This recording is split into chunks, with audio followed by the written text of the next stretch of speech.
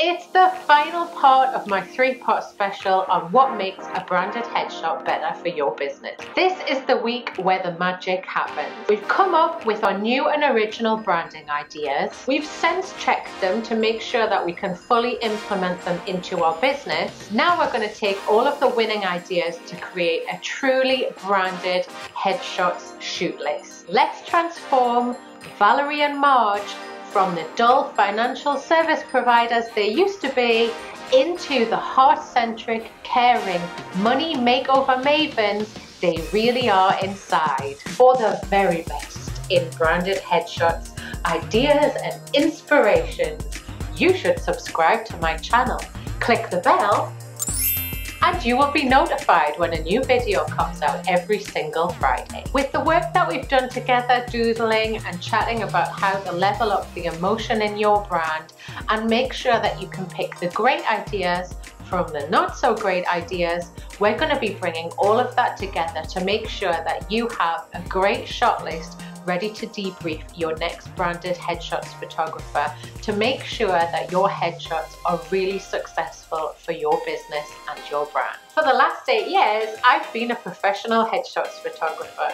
Prior to that, I had a brief career in marketing and public relations, and I've proven the success of my marketing infused branded headshots formula with many of my 300 some headshots clients. So it goes emotions, into plans, into branded headshots. Let's get straight into this by flipping the screen and going back to our scale of emotions with Monkey to see where all of the great ideas place ready to form our headshots shoot list.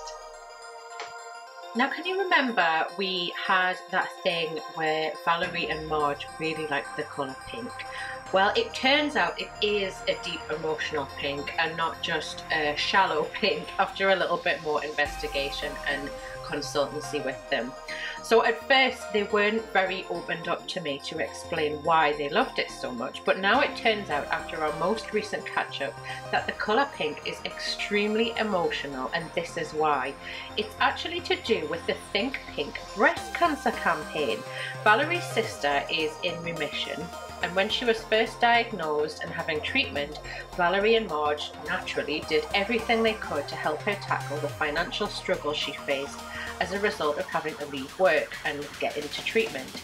This is why they love pink so much. They've both regarded it all these years as like this secret emotional code colour and they both knew that it had a really special place in their heart for them but they were afraid to associate their relationship with the colour with their financial service branding they felt like it was a little bit like oversharing. We all know those people online who do a little bit too much oversharing and it just kind of gives us the ick factor. And can you remember that the ladies told us that they loved cake?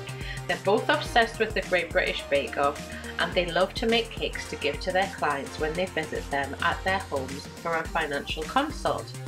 It turns out that after a bit of research, I've been able to find a smell connection with these two different emotions vanilla. Now there is a lot of scientific research in how the smell of vanilla can be found to have a really positive effect on nursing. Vanilla is often described as a very feminine fragrance. It actually works perfectly as well with the colour pink and it is a more unusual way to add a bit more of an extra sensory connection into the brand. See how these things rank on the scale of emotions. Monkey is deeply moved, let me assure you. So I've also been able to note down some loose copy ideas for them to give to their copywriter here goes, they're out there. like vanilla pods steeped in sugar. We want you to feel that sugar rush you remember from your childhood days going to sleepovers in the summer holidays. That energetic burst of when the sugar hits your bloodstream is the exact same feeling you get when we have evaluated your financial practices and processes for you. The clarity you'll get is so intense, it gives you the warm pink and fuzzies.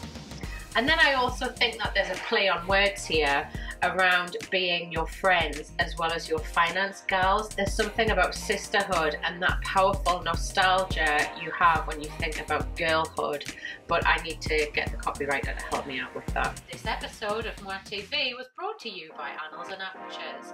Sign up with the link in the show notes to make sure that you get regular inspiration client success stories, and lots of free tips and advice on your headshot photography, branded photography, and selfies. I'll see you over there. Let's get into the shot action list then.